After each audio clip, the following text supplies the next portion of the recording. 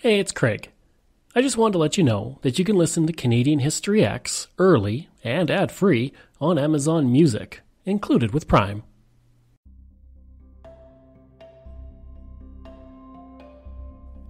Greetings and welcome to another episode of Canadian History Ehx. Before I continue, if you want to support the podcast, you can by going to patreon.com slash CanadaEhx. That's EHX. We have multiple tiers for you to choose from, and you can support the podcast for as little as $3 per day. If you mention Lewis and Clark, people typically know exactly who you're talking about. They know the legendary expedition sent by the Americans out west. But when you mention the Palliser expedition, many Canadians don't know what you're talking about, even though it had a massive impact on the history of the settlement of the Canadian West. Let's begin our look at this expedition. The expedition was initiated by John Palliser, an Irish born geographer and explorer who had led hunting excursions into the North American prairies before submitting his plan to the Royal Geographical Society to travel to and from the Red River Colony to and through the Rocky Mountains along the American boundary that had yet to be surveyed. The Royal Society agreed to this venture but expanded on it to become a scientific expedition. A grant request was also issued to the government for £5,000. At the time, the future of the Hudson's Bay Company territories was in jeopardy, and information was needed about this area. Another goal of the expedition was to explore new railway routes for any future railway through Canada and to collect new species of plants. On this expedition, Palliser would be joined by four men, and I'm going to look at each of those men right now. James Hector was a Scottish geologist, naturalist, and surgeon who served as the expedition's surgeon and geologist. He was appointed to the Palliser expedition on the recommendation of Sir Roderick Murchison, who was the Director General of the British Geological Society. Eugene Bourgeau was a French naturalist who worked at a botanical garden in France and was a botanical collector in Spain, North Africa, and the Canary Islands before he joined the expedition. Thomas Blakiston was an English explorer and naturalist who would serve as the magnetic observer of the expedition. John Sullivan was a mathematician and astronomer who taught at the Royal Naval College and was recommended for the Palliser expedition by fellow faculty member Edward Purcell. At the time of the expedition, knowledge of the West was very limited. The area along the American border was known by indigenous communities and fur traders, as well as missionaries, and some explorers had collected and recorded information, but that was not easily accessible to everyone. In order for expansion to happen, promising land out west had to be found. With the Palliser expedition, the men were told to explore the land between Lake Superior and Red River, the Red River area to the Rocky Mountains, and the land beyond the Rocky Mountains towards the Pacific coast. The four men would leave for New York on May 16, 1857, and eventually sail to Sault Ste. Marie by steamship. They would continue by canoes and on June 12th reached Isle Royales and continued through to Fort William, the future location of Thunder Bay. This would serve as the starting point of the expedition for the men. The men would leave the area by horse and cart with supplies provided by the Hudson's Bay Company. Once they had reached the Red River area, Palliser hired several Metis guides to assist them in the trip west. In all, there were 19 Metis guides who served as scouts, armed escorts, and interpreters. During that month of June, the expedition would explore the Whitefish River and determine its river connections through the help of three local Ojibwas. Moving from Red River, the expedition would meet Charles W. Idings, an American surveyor along the American border. The expedition would then continue through Turtle Mountain, Fort Ellice, along the South Saskatchewan River to Fort Carlton, and then along the North Saskatchewan River, where the men would winter until 1859. In the spring, as the snow melted, the men continued west to search for a mountain crossing. Palliser and Sullivan would map the North Kananaskis Pass and the North Kootenay Pass before returning to Fort Edmonton for the winter. Hector would explore the Vermilion Pass and would discover Kicking Horse Pass, which would become a vital pass for the passage of the railway in three decades' time. The story of the pass and its name is actually a very interesting one. So I'm going to explain it. While near the Continental Divide, Hector's pack horse fell in the river. As the horse was being pulled from the water, his own horse began to stray. When he attempted to catch it, the horse kicked him in the chest and knocked him unconscious. In his diary, he would write In attempting to recatch my own horse, which had strayed off while we were engaged with the one in the water, he kicked me in the chest. While he was unconscious, his companions believed he was dead and dug a grave for him, and they were preparing to put him in the grave when he suddenly woke up. In 1903, Hector would visit Canada again and state, When I regained consciousness, my grave was dug and they were preparing to put me in it. So that's how Kicking Horse got its name and how I came to have a grave in this part of the world. Now, this is a nice story, but Metis guide Peter Erasmus, who was with Hector, wrote his own version of the story that disputes the story that Hector related about his grave. Erasmus's account is as follows The doctor was knocked unconscious.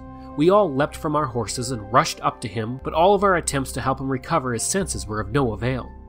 We then carried him to the shade of some big evergreens while we pitched camp. We were now in serious trouble, and unless Nimrod fetched in game, our situation looked hopeless. One man stayed and watched the unconscious doctor, and the rest of us took turns trying to catch trout that we could see in the clear mountain water of the river. Dr. Hector must have been unconscious for at least two hours when Sutherland suddenly yelled for us to come up. He was now conscious and in great pain. He asked for his kit and directed me to prepare some medicine that would ease the pain.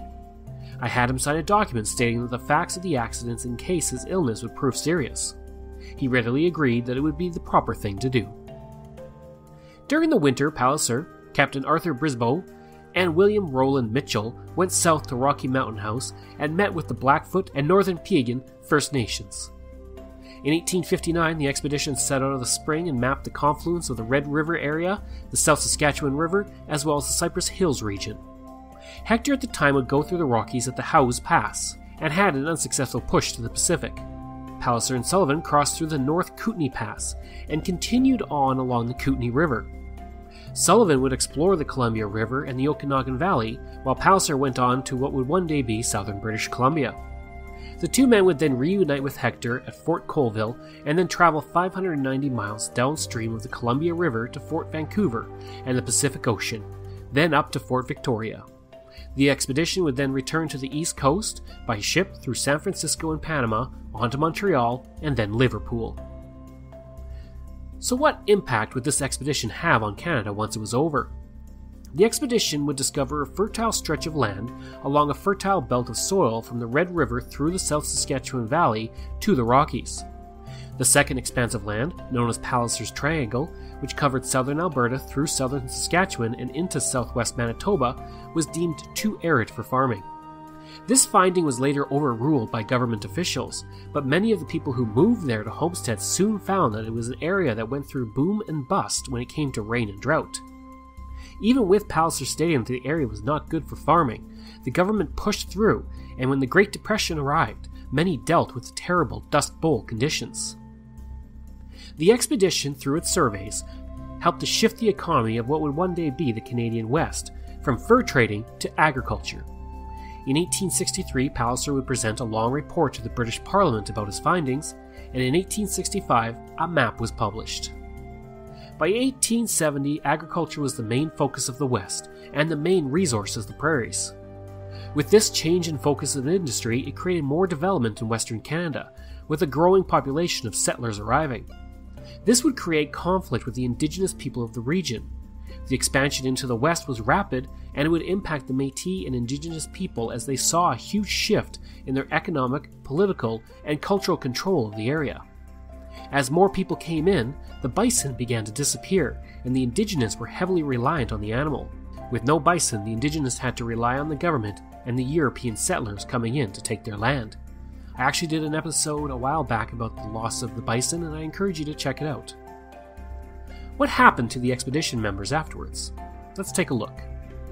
The leader of the expedition, John Palliser, would go on to travel through Russia in 1869 following the American Civil War, where there were rumors that he was actually a spy for the Confederate States, but these were never proven.